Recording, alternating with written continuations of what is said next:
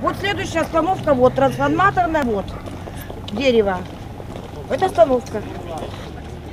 Вновь с участием активистов самоуправления проводил сегодня еженедельный обход города мэр Биробиджана Евгений Коростылев. Жительница поселка Новый Людмила Сотникова передала градоначальнику жалобы своих земляков на отсутствие освещения, плохую дорогу и слишком редкое расписание движения автобуса номер 14, из-за чего приходится по тропинке ходить пешком в ближайший микрорайон улицы Осенней. Однако и этот путь оказался с препятствиями из-за прошедших накануне ливней. Одну из проблем жителей поселка Евгений Владимирович решил сразу же в режиме ручного управления управления.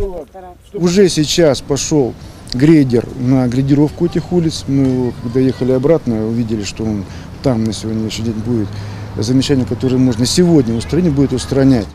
Не терпит отлагательства и вопрос монтажа осветительных приборов на улицах поселка Новый. Муниципалитет рассчитывает дать свет этой окраине в сотрудничестве с энергетиками. Света нет практически нигде. Поэтому у нас есть договоренности с ДРСК о размещении фонарей на опоры ДРСК. Такое совещание мы провели. И точечно попытаемся в этом году какие-то зоны осветить. Более ну, такую масштабную работу будем планировать на последующие периоды. В этом году, конечно, мы не сможем сделать.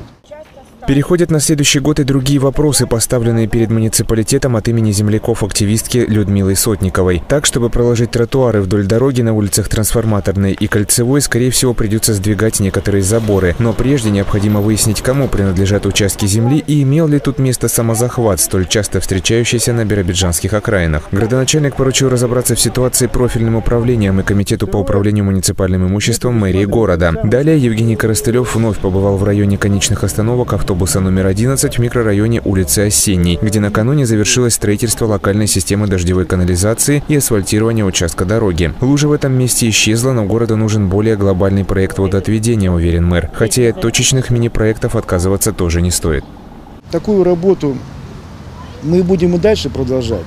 Но в целом э, в системе водоотведения, как ливневой канализации, водоотведение значит, на э, пригородах и необходимость, либо там, э, ну, определение необходимости строительства дамб, это, конечно, покажет проект. Вот эту работу по проектированию мы будем планировать на следующий год.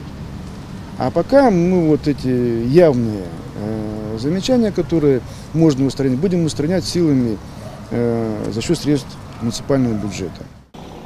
Ходе объезда Евгений Коростылев проинспектировал также еще несколько объектов, пострадавших от подтопления. Это двор дома по улице Набережной, 22, берег ручья Безымянный, на котором после субботнего ливня образовались оползни, их сейчас укрепляют камнями, и деревянный дом по улице Пионерской, 65, первый этаж которого затопило в ночь на воскресенье. Мэр побеседовал с жильцами и разъяснил, как может решиться вопрос с включением двухэтажки в программу расселения ветхого фонда. Вячеслав Посманик, Сергей Баблюк, Новости 21.